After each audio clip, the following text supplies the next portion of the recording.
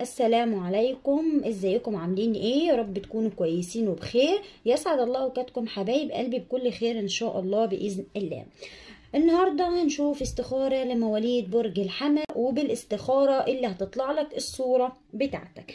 آه بس أنا زعلانة منك جدا يا برج الحمل لأنه ما عادش فيه تفاعل في برجك خالص ولا لايك حلو ولا تعليق جميل زيك ولا أي حاجة برج الحمل. ورغم ده كله أنا ما تأخرتش عليك وأنتوا طلبتوا مني استخارة للأشهر الباقية وأنا من عيوني حاضر. بس فضلا وليس الأمر انزلوا لو لسه ما اشتركتوش في القناة فعلوا الجرس عشان خاطر يوصل لكم كل ما هو جديد. ونقول بسم الله ونشوف الصورة اللي هتطلع لك.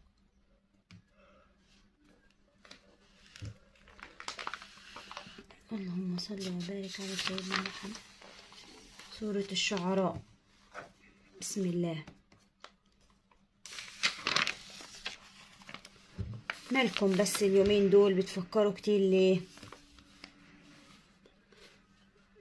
بسم الله. طيب أول حاجة أو أنتوا الفترة دي عندكم رجوع حق أو أنتوا طالبين عدالة أو في دخول محكمة؟ يعني اتظلمتوا في حاجة اتظلمتوا في مال اتظلمتوا في شغل اتظلمتوا في مع أهل. الله أعلم. لكن أنتوا اتظلمتوا في حاجة والحاجة دي عندكم يعني رد رد ليها.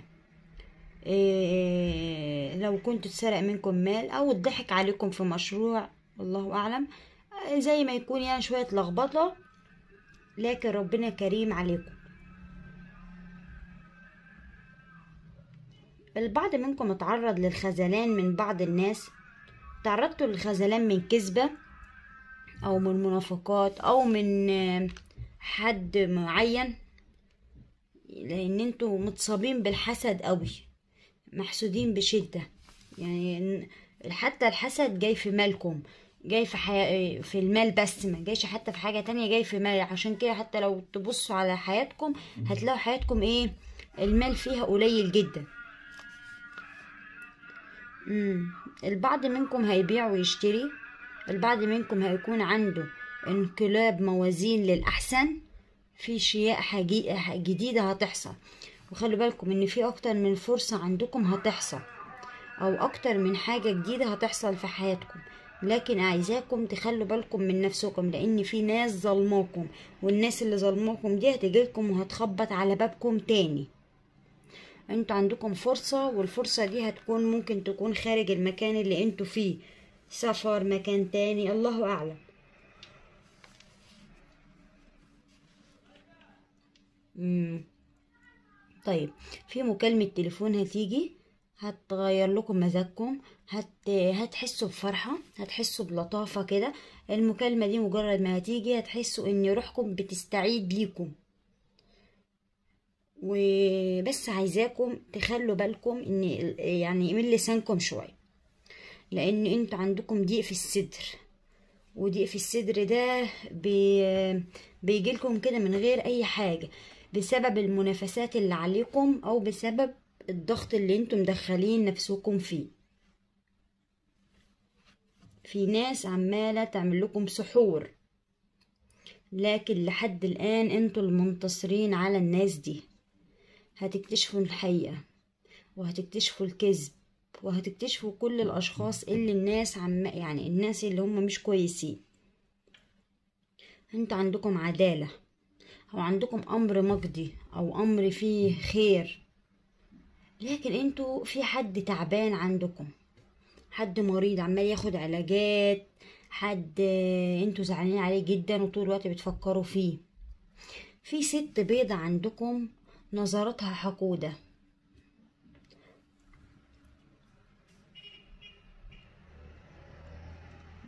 يعني الست دي بتاعت أسحار هي بيضة ونظرتها كده يعني. أول ما بتشوفوها بتحسوا كده إن نظرتها غريبة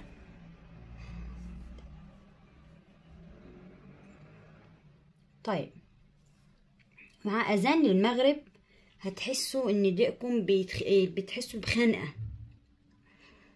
بتحسوا ب يعني كده بحاجات غريبة. لكن بإذن الله في انتصار ليكم في حاجات كتيرة. ممكن يكون القرار لأني أربعة وعشرين ساعة بتفكروا. أربعة وعشرين ساعة بالكم مشغول. فممكن يكون عندكم نصرة في محكمة أو نصرة في أمور كتيرة.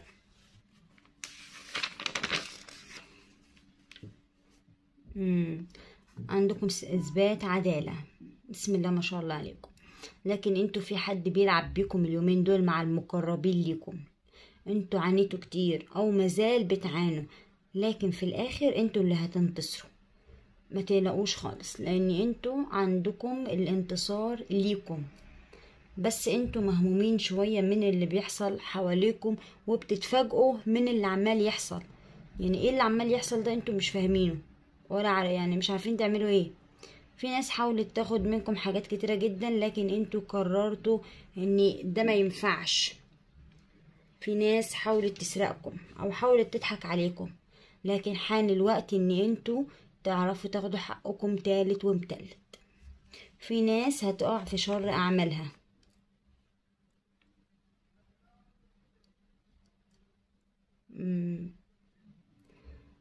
أنتوا بتعرفوا ناس كتيرة جدا. الناس اللي تعرفوهم دول في منهم الكويس وفي منهم الوحش. أو أنتوا اجتماعيين أصلا في حياتكم. بستع... بت... بت... يعني ب... ليكم علاقات بناس كتيرة.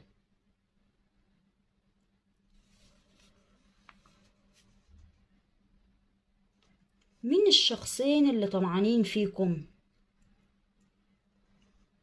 في شخصين مش مذكور لهم أي حاجة لكن هم طمعانين فيكم وعايزين يعرفوا كل حاجة في حياتكم. أنتوا عاملين زي النجم النجوم لمعة في السماء وناس كتيرة جدا لازم تتعب علشان توصل لكم. لكن لما بيوصلوا لكم بتحصل مشاكل. مش كل الناس اللي تقرب منكم تبقى صديقة. مش كل الناس اللي تبقى قريبة منكم تبقى حبيبة. لازم تحذروا من النوعية دي. أنتوا في يعني في الشغل عندكم أو في حياتكم عامة هيكون في ترقية حلوة. لو أنتوا شغالين في تجارة خاصة بيكم أو في مصلحة حكومية هيكون عندكم أمور حلوة. ممكن يكون عندكم ترقية لأن أنتوا هتاخدوا ورقة فيها ترقية أو فيها زيادة في المال. فما فيش قلق خالص عليكم لأن في أمور حلوة. لكن الأمر بس اللي أنتوا فيه حاليا في شوية توتر لكن الأيام اللي جاية هتكون حلوة.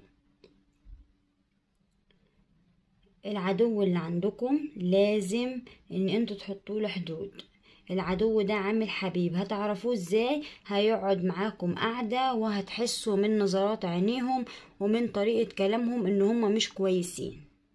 وهتعرفوا إن هم ناس خبيثة وبالفعل هتقرروا إن أنتوا تحطوا العدو ده على جنب مع بقية الأعداء. لأن أنتوا شايفينه حبيب شايفينه صديق شايفينه أخ شايفينه كل الأحبة اللي في الدنيا. لكن ما تعرفوش هو بيخطط لكم على إيه وعايز يوقعكم في حفرة إزاي.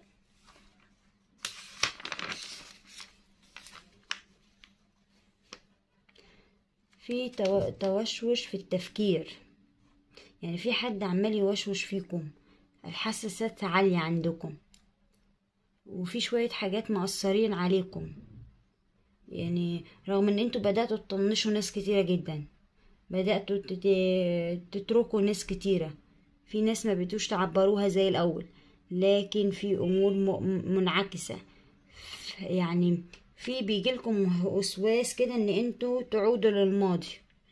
إن أنتوا ترجعوا لورا. لا اوعوا. محدش يعمل كده. مادام عديتوا وطلعتوا لقدام خطوة ما تبصوش لورا ابدا. لأن مادام بتبصوا لورا مادام ما هتتعبوا. خلوا بالكم إن أنتوا عندكم كشف حقيقة وفي نفس الوقت في آه طرف تالت هتعرفوه. يعني في مفاجأة حلوة وكشف الحقيقة للطرف التالت اللي أنتوا هتعرفوه. الطرف التالت ده هتتصدموا فيه. لأن هيكون يعني أنتوا هتكونوا إزاي؟ وامتى؟ وكيف؟ وهتفضلوا تسألوا أسئلة كتيرة جدا. فخدوا بالكم من نفسكم دايما.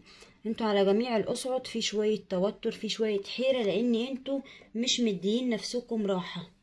أربعة وعشرين ساعة تفكير أربعة وعشرين ساعة إرهاق أربعة وعشرين ساعة تعب نفسي وجسدي. فلازم تفصلوا ما بين الحياة العامة وما بين حياتكم.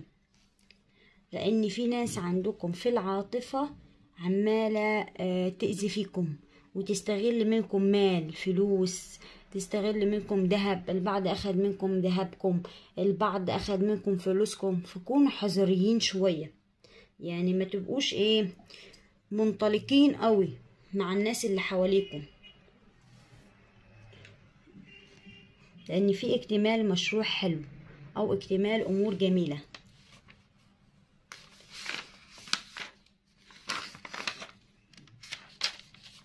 مم. في امتلاك. أنتوا هتمتلكوا حاجة حلوة. هتمتلكوا عربية هتمتلكوا بيت هتمتلكوا أرض أو هتبيعوا شراء بيعوا والشراء لو أنتوا عندكم عايزين تبيعوا وتشتروا. الفترة دي اسمة كبيرة مفتوحة في حياتكم. لكن البعض منكم شايل هم الدنيا بطريقة رهيبة. أنتوا عاملين زي الجبل. الجبل ده كده ما يهزك ريح لكن متأثرين جدا باللي بيحصل حواليكم. وقعتوا في مكان ومش عارفين تلاقوله مخرج. المخرج ده يكون من عند ربنا. ممكن تكون الحفرة اللي أنتوا وقعتوا فيها دي كانت علاقة مقيدة كان مكان مش عاجبكم كانت حاجة تعباكم الله أعلم. أنتوا اللي تحددوا. فجالكم المخرج من عند ربنا.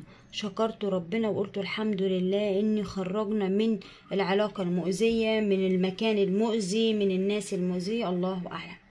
لكن ربنا كريم عليكم. آه، في حاجة آه، يعني في ناس خسرتكم. ناس كانت فاكرة إن مكسبتكم يعني كانت فاكرة إن هي لما تخسركم هتكسب لكن لما خسرتكم ندموا وزعلوا وقالوا يا ريتنا ما كنا وما كنا وما كنا. لأن هم زعلانين جدا إن هم خسروكم. لأن أنتم ما تتعوضوش. وعشان كده من أول البداية قلنا إن في رجوع. أنتوا. مشترين حاجة بالقسط أو في حاجة تخص القسط في حياتكم؟ يعني عايزين تشتروا حاجة بالقسط أو أنتوا حاليا عليكم اقساط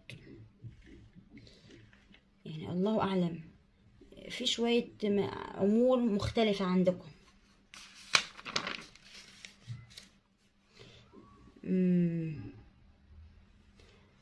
طيب مين الناس اللي أنتوا بتقولوا لهم اتقوا ربنا اللي أنتوا بتعملوه ده غلط؟ أنتوا بتدعوا على ناس بتقولوا لهم اتقوا ربنا لأن الناس دي مش ظالمة. الناس دي بتعمل حاجات غلط.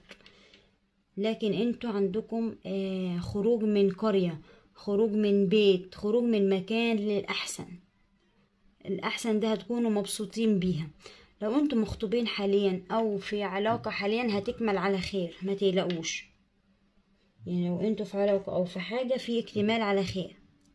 لكن الوضع الحالي اللي أنتوا فيه حاليا بتدوروا على استقرار على المال على الأسرة. يعني بتحاولوا إن أنتوا تستقروا بكل الطرق. وعشان كده حتى القلب عندكم آه، يعني القلب عندكم كده زعلان أو أنتوا بمعنى أصح متأثرين قوي بالعاطفة أو أنتوا في علاقة ومش لاقيين حقكم.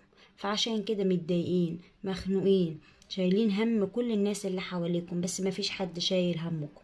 فربنا كريم عليكم. ربنا هيكرمكم من حيث لا تحتسب. البعض منكم عنده القولون. القولون دايما آه، فيه انفعالات. القولون دايما عصبي.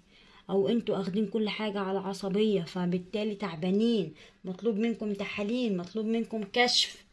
فيا ريت يا ريت ما تاخدوش كل حاجة على أعصابكم لأن كل ما بتاخدوا حاجة على أعصابكم كل ما أنتوا بتضروا نفسكم ومحدش هينفعكم بحاجة. بالعكس ده أنتوا كده بتس... بتسهلوا للناس اللي حواليكم إن أنتوا تتعبوا بسرعة. يعني إن أنتوا تقعوا بسرعة فخدوا بالكم من نفسكم حصنوا نفسكم حصنوا بيوتكم حصنوا حياتكم اكتموا داروا على شمعتكم علشان تكمل داروا على شمعتكم علشان تقيد وتحققوا أحلامكم. وكده استخارتنا بتكون خلصت وكانت ورانا صورة النمل ده بيدل على الحسد الشديد. فخلوا بالكم وزي ما ذكرت حصنوا نفسكم. يا رب قراءتنا تكون عجبتكم ونالت إعجابكم. طبعا ما تنسوش اللايك الجميل والتعليق الحلو وانتظروا مني كل ما هو جديد. تحياتي لكم.